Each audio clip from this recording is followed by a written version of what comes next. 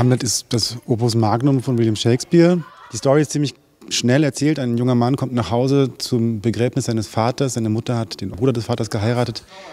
Da stimmt was nicht. Daher kommt auch der äh, Satz, es ist faul im Staate Dänemark. Und diese Ahnung wird bestätigt. Der Geist des toten Vaters sucht Hamlet auf und erteilt ihm einen Racheauftrag.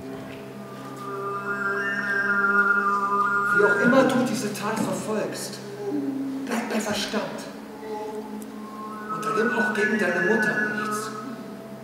Lass sie dem Himmel und den Dorn, die in ihrer Brust stecken, sie zu stechen und quälen.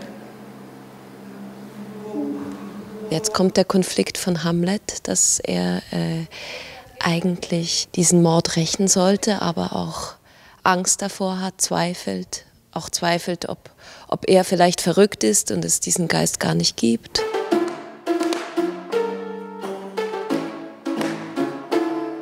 Bei uns spielt die Musik eine ziemlich große Rolle. Und da eigentlich eine Musik hervorsticht, nämlich die alpine Musik, die hier aus der Gegend kommt, die Musik, die auch aus den Bergen kommt, deswegen dieser, dieser Ruf des Todes, hat immer sehr viel zu tun mit so einer Art Jenseitsmusik, die da eingeläutet wird.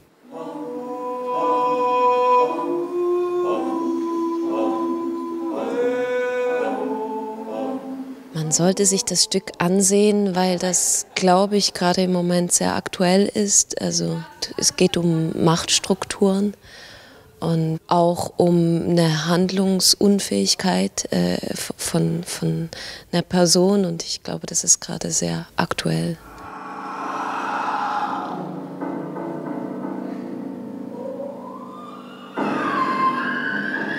Der Mörder vergiftet den König seines Herzogtums wegen.